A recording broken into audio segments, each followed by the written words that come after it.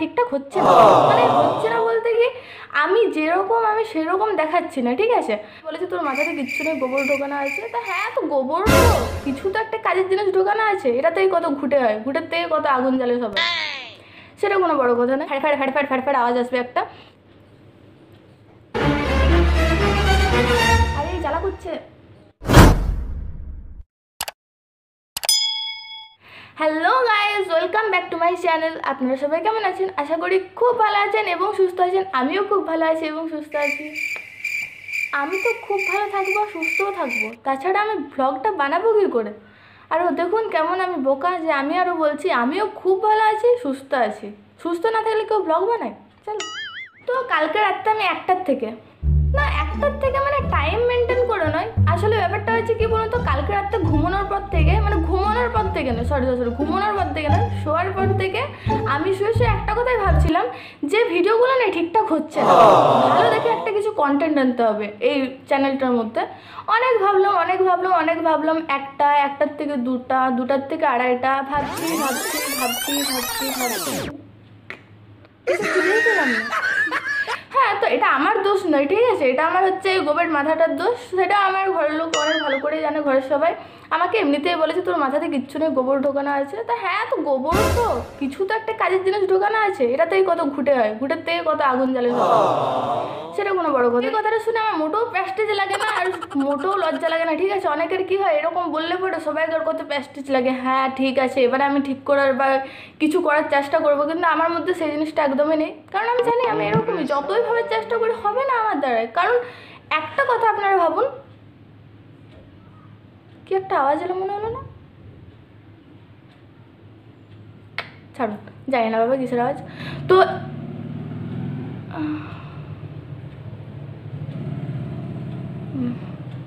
Bike গেল। তো যাই হোক, ছাড়ুন। তো একটা কথা আমি ভেবে পরে দেখলাম, কি বলছিলাম সেটাই ভুলে গেলাম।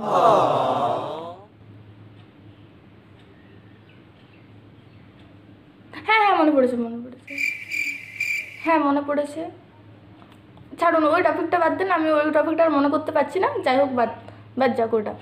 তো হ্যাঁ আমি যেটা বলছি যে, কি কি করা যায়? মানে কি করা যায় ভিডিওর মধ্যে? এখনও পর্যন্ত আমি খুঁজে পাচ্ছি না যে কি করা যায়, ঠিক আছে? তো অনেক ভাবলাম অনেক ভাবলাম, ভেবে ভেবে। কি একটা ভালো কিছু একটা বলতে যাচ্ছিলাম, সেটা আর কোনো মতে মনে পড়ছে না। এটা নিয়ে কিছু একটা ভালো কিছু বলতে যাচ্ছিলাম, কোনো মতে মনে পড়ছে না। তো যাই হোক, ওটা বাদ দেন। আমি যেটা বলছি ব্লগগুলো আমি ওইভাবেই করব, আমি নিজে যেমন আমি সেরকম টাইপেরই করব, অত আমি চুপচাপ চুপচাপ ভদ্র হয়ে আমি ব্লগ বানাতে পারব না, ঠিক আছে? আছে। আমি যেমন আমি সেরকম ব্লগ বানাবো, আর হ্যাঁ যেটা বলছি বারবার কিছু না কিছু একটা বলতে আছে কিছু না কিছু একটা শব্দ আসছে কোথাও না কোথার থেকে। বাইরের থেকে একটু হঠাৎ কেমনভাবে একটা, কেমনই একটা আওয়াজ এলো, তারপরে বাইক পেরোলো, তারপরে এতক্ষণ আর সাইকেল পেরোলো, তারপরে বেল দিয়ে পড়ে। ভাবা যায়? মানে এগুলো ব্যাকগ্রাউন্ড মিউজিক চলছে এক ধরনের। যেমন আমি সেরকম টাইপের ব্লগ বানাবো, আর আপনাদের একটু হলেও এই লকডাউনের দিনে বোরিং এই দিনগুলোতে একটু হলেও হাসানোর চেষ্টা করব। তো পাগল ভাবতে পারেন, সেটা কোনো বড় কথা নয়। আমাকে সব ওখানের সব বান্ধবীগুলো একটা কথাই বলে যে হ্যাঁ রে, তোকে চল স্পন্দনে দিয়ে আসি। স্পন্দন মানে বয়ফ্রেন্ড ভাববেন না, স্পন্দন হচ্ছে মেন্টালদের হসপিটাল আসলে সাইকাট্রিক পোস্টিং হয় সেকেন্ড ইয়ারে যখন থেকে ওরা নামটা জেনেছে হসপিটালটার নাম, সেটা তখন থেকে আমাকে বলে, চল, তোকে স্পন্দনে দিয়ে আসব। মানে কি, যা আমি পাগলের মতো সারাক্ষণ বকবক বকবক বকবক বকবক করতে থাকি, ওদের মাথা একদম খেয়ে নি যাকে বলে। তো ওই জন্যে বলে ওরা যে, চল, তোকে স্পন্দনে দিয়ে আসি। তো ওটা আমার একটা, না জানা, একটা ঘরের মতো হয়ে গেছে, আমি জানি না ওটা ওটা দেখিও নি এখনও পর্যন্ত যে ওটা কেমন। কিন্তু সেকেন্ড ইয়ারের কাছ থেকে শুনেছে, তাই আমাকেও বলে, ঠিকই আছে। আর হ্যাঁ বন্ধুরা, আপনাদেরকে তো আমি তো বলতেই ভুলে গেছি, আজকে আমি সেই বায়োটেকের হানি টোনারটা ইউজ করব। তো বায়োটেকের হানি টোনারটা আমি তো ইউজ করব। ফেস ওয়াশও আমার করা আছে। আমি একটা ঘুম থেকে উঠলাম, আমি আপনাদেরকে বললাম না যে কালকে রাত্রে আমি আড়াইটা পর্যন্ত জেগেছিলাম? আজকে জানেন, বিশ্বাস করবেন না, কটার সময় আমি ঘুম থেকে উঠেছি? সাড়ে এগারোটা। সাড়ে এগারোটা আমার গুড মর্নিং হয়েছে। মা বলছে, বাহ! বলছে, "অ- অনেক তাড়াতাড়ি ঘুম থেকে উঠে গেলি তো? হ্যাঁ মা, ওই আর কি হচ্ছে। ঘুম আসছে না, রাত্রেবেলা এত বুঝতেই তো পারছ। ঘরে থেকে সারাদিন এত পরিমাণ বোর হয়ে যাচ্ছে যে রাত্রেবেলা ঘুমোতেও মন যাচ্ছে না ভালোভাবে। আসলে মাকে আমি বলতেই পারিনি যে এসব টেনশন আমার মাথার মধ্যে ছিল। যাই হোক, মাকে বললে পরে মা একটা কথাই বলতো, জেগে থাক, তুই জেগে থাক তবে শরীরটা খারাপ কর। তখন কিন্তু একদম বলতে শুনে মা, আমার শরীরটা খারাপ লাগছে।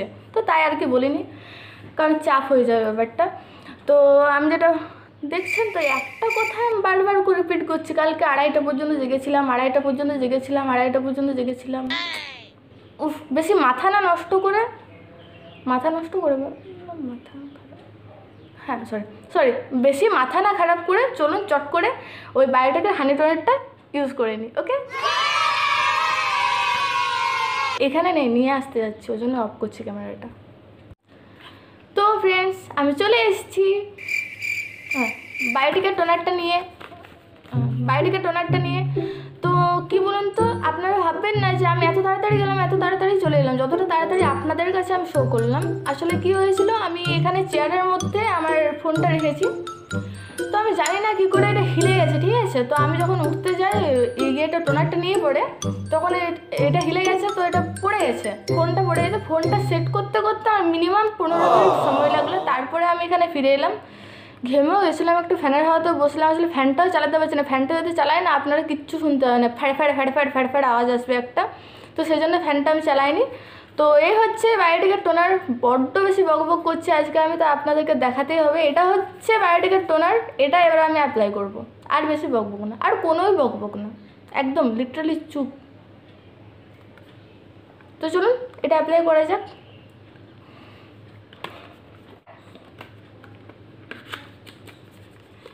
আর হ্যাঁ আপনাদেরকে একটা কথা বলতে ভুলে গেছি। আপনারা ভাববেন না যে সকাল সকাল আমি লিপস্টিক অ্যাপ্লাই করে বসে গেছি, আপনাদের কাছে বকবক করতে, ঘুম থেকে উঠে পড়ে।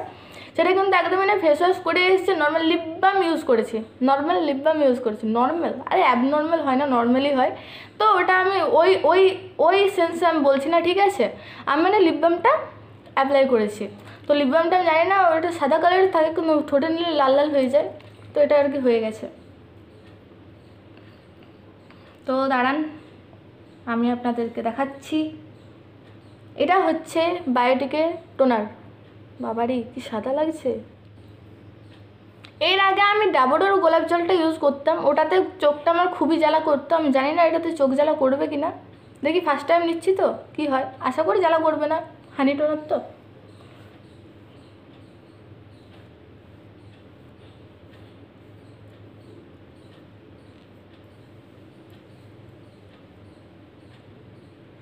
আরে জ্বালা করছে।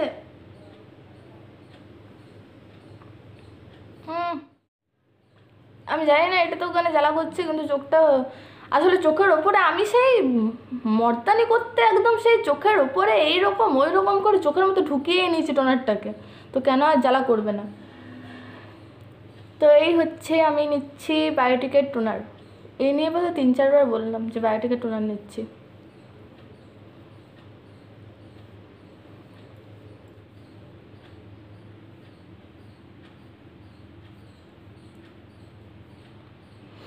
তো টোনারটা অ্যাপ্লাই করা হয়ে গেছে। আপনারা হয়তো দেখতে পাচ্ছেন যে কটনটাতে কীভাবে নোংরা এসছে। আমি একটু আগে ফেস ওয়াশ করে এলাম। বিশ্বাসই হচ্ছে না যে এতটা পরিমাণে নোংরা বেরোতে পারে। তো দেখছেন এই যে কতটা পরিমাণে নোংরা বেরিয়েছে। টোনারটা কিন্তু এরকম কিন্তু ভালো, ঠিক আছে? সত্যি ভালো। স্কিনটা ভালো সফট সফট লাগছে, কিন্তু এত তাড়াতাড়ি ড্রাই হচ্ছে না, ঠিক আছে? শুকাচ্ছে না টোনারটা পুরো নোংরাটা কিন্তু একদম টেনে বার করে নিয়ে এসছে। ফেস ওয়াশ করে এলাম মানে দেখে মনে হচ্ছে না যে ফেস ওয়াশ করে এসছি। এই তুলোটা যখন দেখছি, এতটা নোংরা বাবা রে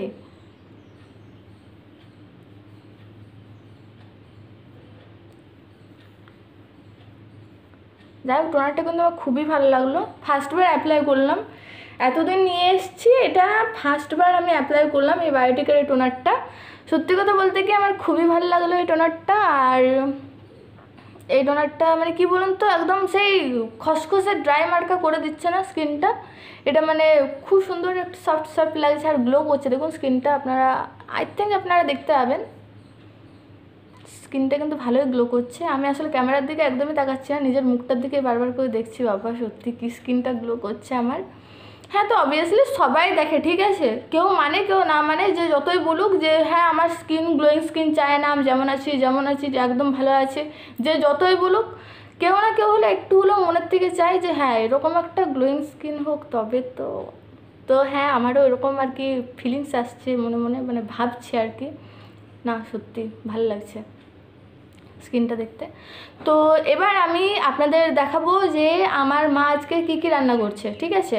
আমি জানেন তো থেকে বলে রেখেছি যে মা চিকেন হলে আমি লেমন ব্ল্যাক পেপার চিকেন রেসিপিটা রান্না করব, ঠিক আছে? আমি ওটা কিন্তু সত্যি খুব ভালো পারি। চিকেনের যে কোনো আইটেম আমি কিন্তু খুব ভালো পারি। এটা কিন্তু আমি নিজের নাম নিজে করছি না। এটা সত্যি সত্যি কথা। তো আমি মাকে বললাম যে যখন চিকেন আনা হবে লেমন ব্ল্যাক পেপার চিকেনটা আমি রান্না করব, ঠিক আছে? তো মা কী করল? চিকেন আনা হয়েছে।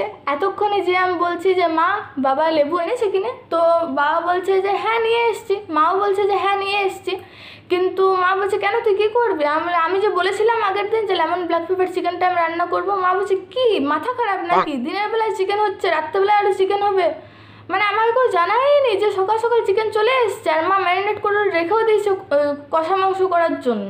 মানে আমাকে করতে দেবে না, সেরকম আর কি ব্যাপার স্যাপার তো যাই হোক, আমি আজকে সেই রেসিপিটা আপনাদেরকে দেখাতে পারছি না, অন্য একদিন দেখাবো।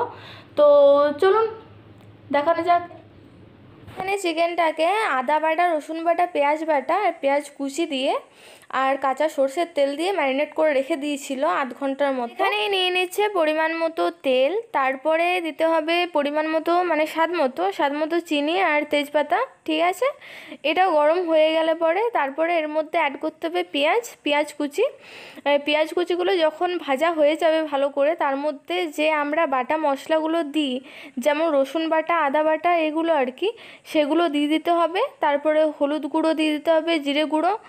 তারপরে ওটা ভালো করে মশলাটা কষিয়ে পরে কষানো যখন হয়ে যাবে, তারপরে অ্যাড করতে হবে মাংসগুলো। দিয়ে পরে হাফ কষাতে হবে।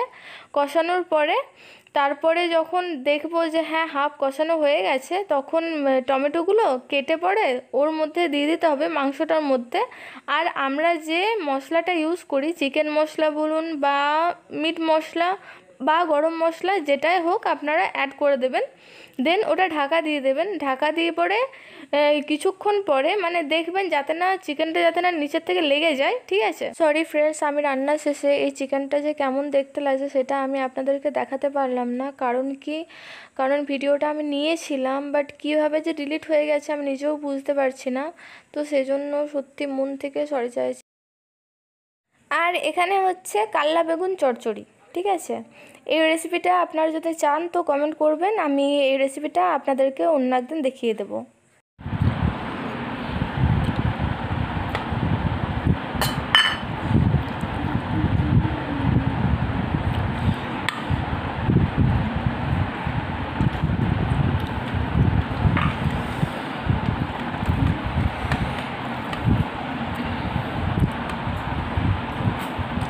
তো চিকেনটা দেখ চিকেনটা দেখুন কত সুন্দর সিদ্ধ হয়েছে। দারুণ খেতে হয়েছে চিকেনটা। আমার চিকেন তো এমনিতেই ভালো লাগে আর আজকে খেতেও খুবই ভালো হয়েছে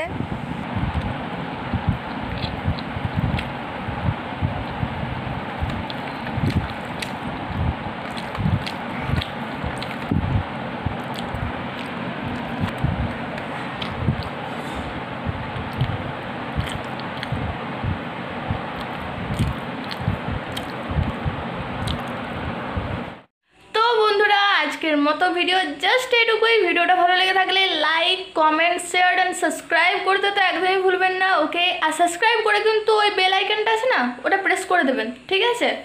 না হলে আমি যে নতুন নতুন ভিডিও ছাড়বো, সেগুলোর নোটিফিকেশান আপনাদের কাছে যাবে না। তাহলে আপনারা দেখতে পাবেন না। ওরকম করলে তো চলবে না।